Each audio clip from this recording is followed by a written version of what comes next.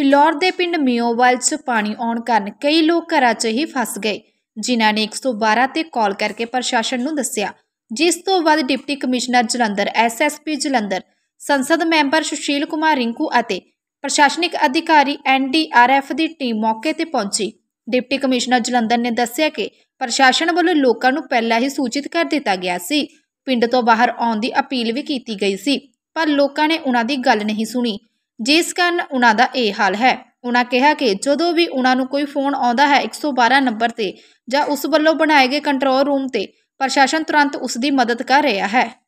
ਅੱਜ ਤੁਸੀਂ ਜਿੱਦਾਂ ਦੇਖ ਰਹੇ ਹੋ ਕਿ ਅਸੀਂ ਇੱਥੇ ਫਲੋਰ ਆਏ ਹੈਗੇ ਇੱਥੇ ਸਾਨੂੰ ਰੈਸਕਿਊ ਆਪਰੇਸ਼ਨ ਕਰਨਾ ਪਿਆ ਕਿਉਂਕਿ ਅਸੀਂ ਜਦੋਂ ਲੋਕਾਂ ਨੂੰ ਪਹਿਲੇ ਬੇਨਤੀ ਕੀਤੀ ਸੀਗੀ ਕਿ ਤੁਸੀਂ ਆਪਣੇ ਘਰਾਂ ਤੋਂ ਬਾਹਰ ਆ ਜਾਓ ਐਂਡ ਸੇਫ ਲੋਕੇਸ਼ਨ ਤੇ ਚਲੇ ਜਾਓ, ਉਸ ਵੇਲੇ ਲੋਕਾਂ ਨੇ ਸਾਡੀ ਗੱਲ ਨਹੀਂ ਮੰਨੀ।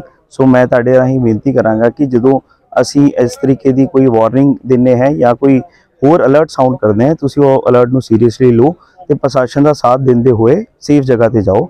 ਸਾਨੂੰ ਇਹ ਰੈਸਕਿਊ ਆਪਰੇਸ਼ਨ ਸਿਰਫ ਇਸ ਵਾਸਤੇ ਕਰਨਾ ਪਿਆ ਕਿਉਂਕਿ ਅੰਦਰ ਲੇਡੀਜ਼ ਐਂਡ ਬੱਚੇ ਸੀਗੇ ਐਂਡ ਉਹ ਬਿਲਕੁਲ ਆਨ ਆਣਾ ਨਹੀਂ ਚਾਹ ਰਹੇ ਸੀਗੇ ਬਟ ਉਹਨਾਂ ਨੂੰ ਫਿਰ ਅਸੀਂ ਜਾ ਕੇ ਕਨਵਿੰਸ ਕੀਤਾ ਤੇ ਹੁਣ ਉਹ ਸੇਫਲੀ ਅਸੀਂ ਲੈ ਆਂਦਾ ਹੈਗਾ। ਇਦਾਂ ਦੇ ਹੋਰ ਵੀ ਕਈ ਹੋ ਸਕਦੇ ਹੈਗੇ ਤੁਸੀਂ ਜ਼ਰੂਰ ਸਾਡੇ 112 ਨੰਬਰ ਤੇ ਐਂਡ ਸਾਡੇ ਜਿਹੜਾ ਫਲੱਡ ਕੰਟਰੋਲ ਰੂਮ ਹੈਗਾ ਜਿਹੜਾ ਉਸ ਨੰਬਰ ਤੇ ਤੁਸੀਂ ਜਦੋਂ ਮਰਜ਼ੀ ਕਾਲ ਕਰੋਗੇ, ਅਸੀਂ ਰੈਸਕਿਊ ਜ਼ਰੂਰ ਕਰਾਵਾਂਗੇ। ਇਹ ਸਾਡੀ ਪ੍ਰਤੀਬੱਧਤਾ ਹੈ ਤੁਹਾਡੇ ਸਾਰਿਆਂ ਦੇ ਨਾਲ। ਅਸੀਂ ਦੇਖਿਆ ਹੈਗਾ ਕਿ ਇੱਥੇ ਵੀ ਇੱਕ ਪਿੰਡ ਦੇ ਇੱਕ ਲੜਕੇ ਨੇ ਸਾਨੂੰ 112 ਨੰਬਰ ਤੇ ਕਾਲ ਕੀਤਾ ਤੇ ਸਾਨੂੰ ਪਤਾ ਲੱਗਿਆ ਤੇ ਅਸੀਂ ਇਮੀਡੀਏਟਲੀ ਟੀਮ ਭੇਜ ਦਿੱਤੀ ਹੈਗੀ ਹੈ। ਸੋ ਮੇਰੀ ਬੇਨਤੀ ਤੁਹਾਡੇ ਸਾਰਿਆਂ ਨਾਲ ਹੈ ਕਿ ਪ੍ਰਸ਼ਾਸਨ ਦਾ ਸਾਥ ਦਿਓ, ਪੁਲਿਸ ਪ੍ਰਸ਼ਾਸਨ ਦਾ ਸਾਥ ਦਿਓ। ਜਿਹੜੀ ਇਨਸਟਰਕਸ਼ਨ ਤੁਹਾਡੇ ਵੱਲੋਂ ਤਾਂ- ਤੁਹਾਨੂੰ ਜਾਰੀ ਕੀਤੀਆਂ ਜਾ ਰਹੀਆਂ ਹੈਗੀਆਂ ਸਾਡੇ ਵੱਲੋਂ, ਉਸ ਨੂੰ ਜ਼ਰੂਰ ਫੋਲੋ ਕਰੋ ਤਾਂ ਕਿ ਇਸ ਤਰੀਕੇ ਦੀ ਆਪਾਂ ਸਿਚੁਏਸ਼ਨ ਨੂੰ ਅਵੋਇਡ ਕਰ ਸਕੀਏ ਤੇ ਹੋਰ ਜਿਹੜੇ ਪ੍ਰੋਬਲਮਸ ਡਿਊ ਟੂ ਜਿਹੜੇ ਫਲੱਡਸ ਆ ਸਕਦੇ ਹੈਗੇ ਉਹ ਤੇ ਅਸੀਂ ਜ਼ਿਆਦਾ ਫੋਕਸ ਕਰ ਸਕੀਏ।